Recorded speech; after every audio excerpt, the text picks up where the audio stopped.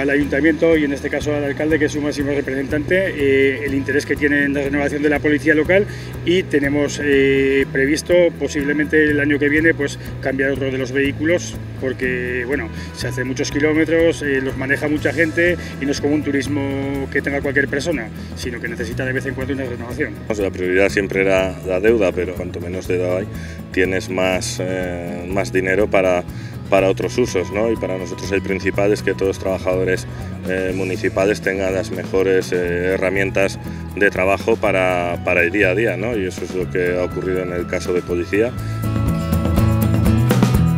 En este caso pues va equipado con, con esta para este kit de detenidos, aparte de un localizador GPS para saber en todo momento dónde se encuentra el vehículo y los agentes y esperamos al año que viene pues, eh, poder cerrar ya la, flota de vehículos de policía con la adquisición de otro nuevo vehículo.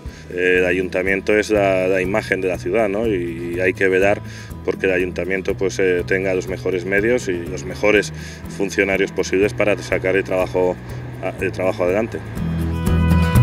El kit de detenidos que me preguntabas es una, es, eh, una mámpara, consiste en una mámpara eh, que es para que cuando hay que trasladar un detenido o cualquier otra persona que puede ser en cierto modo peligrosa, eh, guarde la integridad de los, de los policías, tanto el conductor como el acompañante, con esa separación que se llama una mámpara de seguridad, con los cinturones debidamente homologados para que no se pueda dañar a esa persona durante el traslado desde la calle hasta las dependencias policiales como de dependencias policiales a juzgados.